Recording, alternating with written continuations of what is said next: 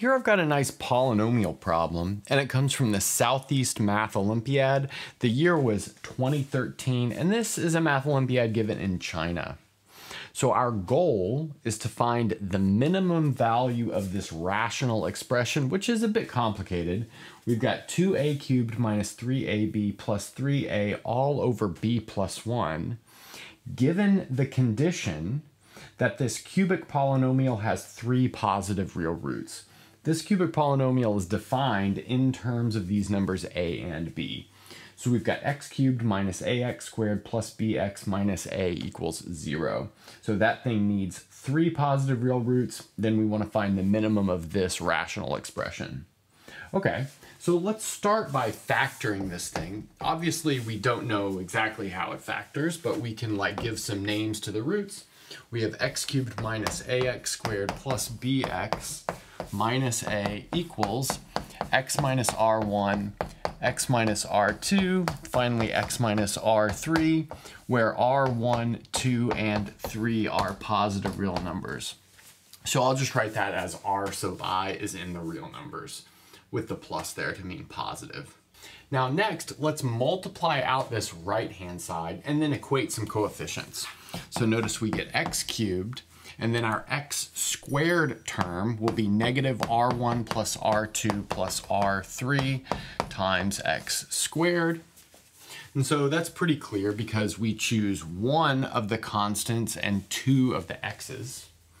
And then we have plus r1, r2 plus r1, r3 plus r2, r3 times x.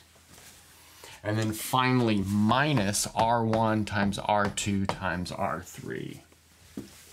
And now we see that A is equal to this sum and this product, while B is equal to this combination of terms that are quadratic in terms of our roots.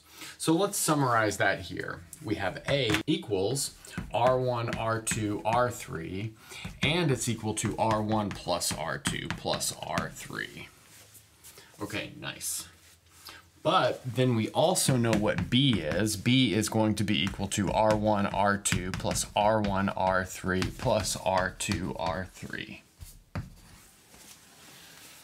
And now the fact that A takes on the value of the product of these three numbers and the sum of these three numbers really screams out that we should maybe use the arithmetic geometric mean inequality. So I'll write that here. We're using the AMGM mean inequality. Okay, so first off, we see that the cube root of A will be equal to the cube root of R1, R2, R3, but that's the geometric mean of these three numbers. That's in fact going to be less than or equal to the arithmetic mean of these three numbers, which is R1 plus R2 plus R3 all over 3. But that's equal to A over 3. So notice we've set up an inequality that involves A, which is actually quite nice because we can use that to get a minimum value for a. So let's just do that.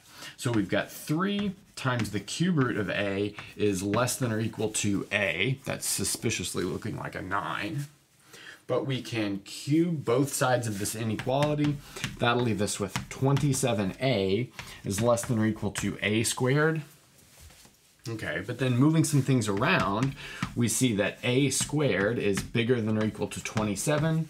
Notice that we're allowed to divide by a because we know a is a positive real number, given that r1, r2, and r3 are positive real numbers. Okay, great. But now we can just take the square root of both sides, and we get a is bigger than or equal to 3 times the square root of 3. Okay, so that's where we are so far. Let's move that to the top and we'll get some sort of bound on B. Among other things, we have so far determined that A must be bigger than or equal to 3 times the square root of 3. We also know that A is the sum of the roots of this polynomial, so r1 plus r2 plus r3, and b is this combination of things that are quadratic in the roots of the polynomial, so r1, r2 plus r1, r3 plus r2, r3. Now we want to mash this stuff together to get some sort of bounding on B.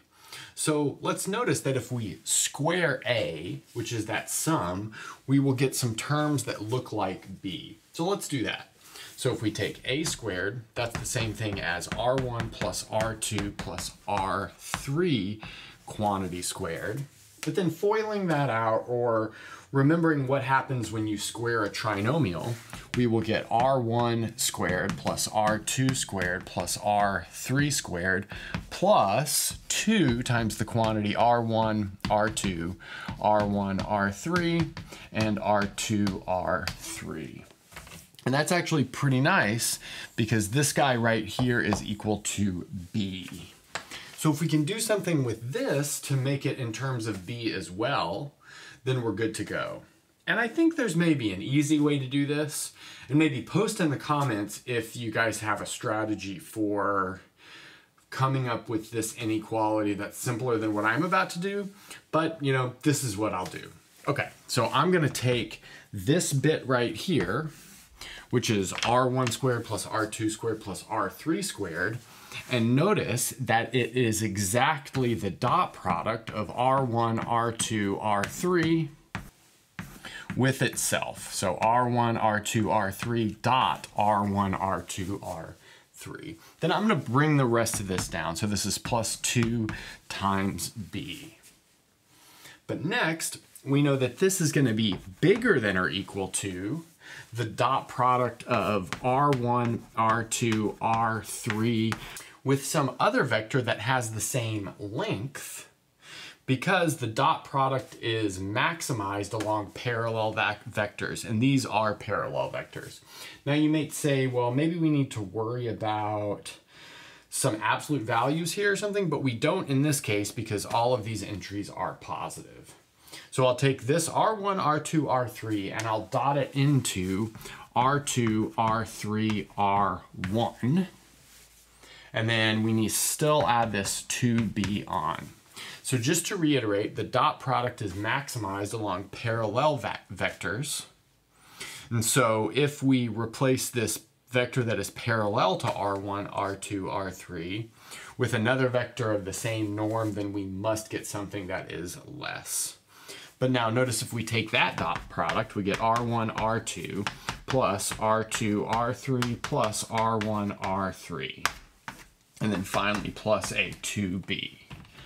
But this guy right here is just another copy of b. So we've got b plus 2b, which is 3b. So let's see what we've got. We've got 3b is less than or equal to a squared. And so that's our next fact. We'll take that, bring it to the top, and we're ready to finish it off. So let's see where we are so far. We've got a is bigger than or equal to 3 times the square root of 3. And then a squared is bigger than or equal to 3b. And then our goal is to minimize this object right here. So 2a cubed minus 3ab plus 3a all over b plus 1. So we'd probably like to manipulate this thing so that we can use these inequalities up here nicely. That's exactly what we'll do. So I'm gonna take this and I'll write it as 3a cubed plus 6a minus 3ab minus 3a all over b plus 1. You might say, well, what is my motivation for that?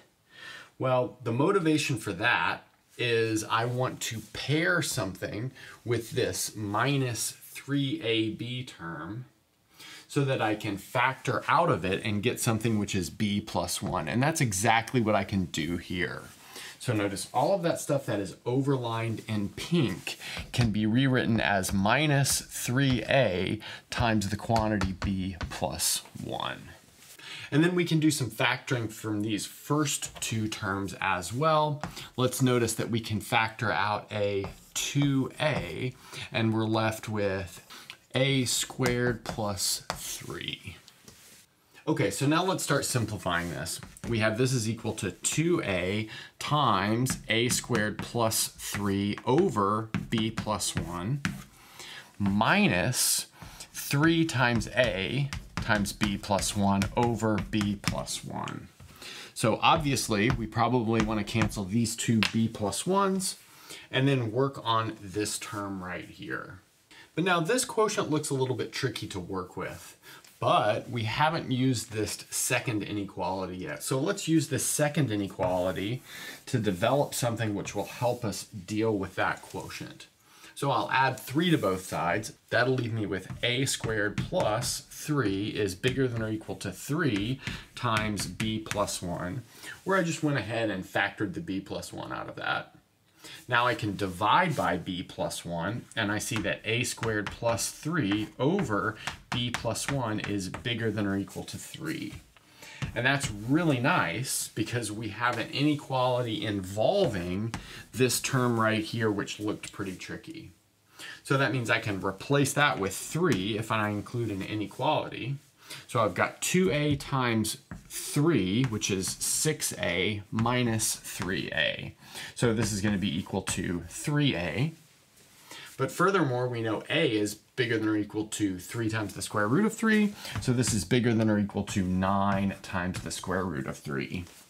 So looking at the extreme left and right hand side of this equation, it seems like the minimum of what we're looking for is equal to 9 times root 3.